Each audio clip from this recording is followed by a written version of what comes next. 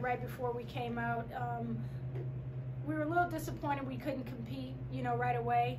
And I think the NEC, you know, making the change midsummer, being able to compete in the conference tournament um, was something that really brightened their spirits. And so, you know, now they have something to play for.